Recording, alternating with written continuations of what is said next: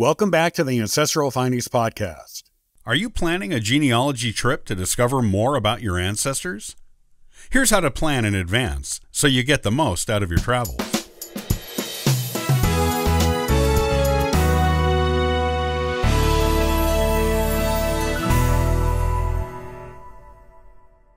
Even with the wealth of genealogical information available online these days, there is still no substitute for good old fashioned fieldwork when it comes to finding your ancestors. For one thing, some genealogy records aren't available online yet, and you must go to local courthouses, historical societies, and town archives to find them. Also, findagrave.com isn't the be all and end all of cemetery research. Going to the actual cemetery where your ancestors are buried will reveal stones that haven't been photographed for the internet yet, and show you where those stones are in relation to each other, which can reveal family relationships. Finally, there is nothing like walking in the footsteps of your ancestors, seeing the towns where they lived, looking at things from their perspective, and maybe even finding the house where they resided, or where it used to be. These are the details that bring your ancestors to life again and tell you so much more about who they were as human beings than any name or date on a family tree ever could. These are the reasons you need to take genealogy research trips. Here's how to plan your next one to make sure you get the most out of it. Know what you need to find and where to find it. Once you've decided which ancestor's hometown you are going to visit on this trip, you need to know what you want to find when you get there. It will do you no good to just wander around town, hoping to find something that will tell you more about your ancestor and their family. Do some research online before you go to determine what records are kept where and how to access them. Also, find out where the local cemeteries are and if any of them have working offices. Finally, get the locations of any local historical societies, museums, archive buildings, public libraries, and town historians. Next, make a list of the things you believe you might find in the town you're going to visit. Break your trip down into a schedule of the places you'll be visiting each day you're there, and what you will be looking for in each place. Print this list off and keep it handy, checking things off as you go. Your trip will be much more organized that way, and you'll likely find a lot more genealogical gold than if you went without such a detailed plan. Some of the things you may want to locate on a genealogy research trip and where they might be located include vital records, birth, marriage, and death records that aren't available online, found at the town clerk or county courthouse. Old wills or estate inventories, found at the county courthouse. Old newspaper records that mention your ancestors, found within town archives, the newspaper office, or public library land records of where your ancestors lived, found at the county courthouse or town clerk. Personal papers and belongings of your ancestors, found at the county courthouse, historical society, town archives, the town historian, or town museum.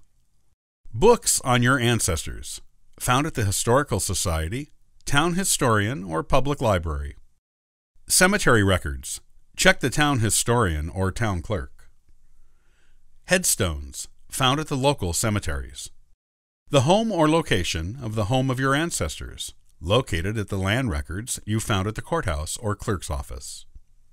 Don't try to do too much in one day or you'll get burned out.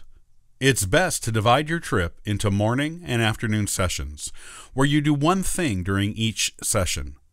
Plan for enough days on your trip to get everything done, plus an extra day for exploring any particularly rich treasure troves of records you may find while you're there. What to bring? Being organized for your trip is essential to having a good experience and finding all you can while you're there. However, you want to be sure you're locating the right things, organizing them properly, and recording them immediately so you don't lose track of this research later and have to repeat it. This is why you absolutely must pack the following things to bring on your trip. A laptop computer with your family tree software installed on it, a digital camera, either a standalone or the camera on your smartphone will do, a three ring binder with pockets, change for making copies or purchasing them, money for admission to museums and historical societies a notepad, and at least three sharpened pencils, gardening gloves, a gardening trowel. The purpose of these items your laptop goes with you wherever you go. Anytime you find a new record, you must record the information you find on it into your family tree software, including where and when you found the information. Citing sources is crucial in proper genealogy. You should use your camera to take pictures of anything that you are allowed to photograph and include those photos in your family tree software. The binder is for keeping copies of records or other information you obtain. The notepad is for taking notes off of records that you cannot photograph or copy. It can also be used to write down leads you may come across on your trip for alternate locations of the records you seek. As far as the gardening materials go, these are optional.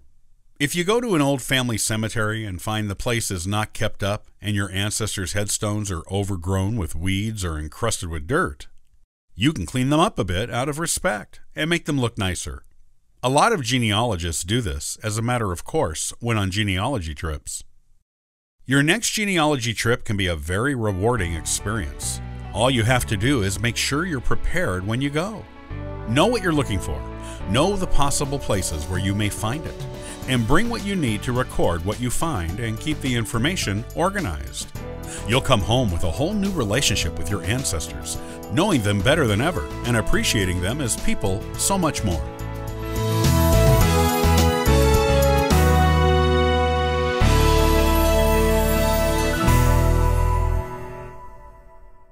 Thanks for listening and subscribing to the Ancestral Findings Podcast. Check out ancestralfindings.com for additional free genealogy resources and weekly giveaways. Hey, happy searching!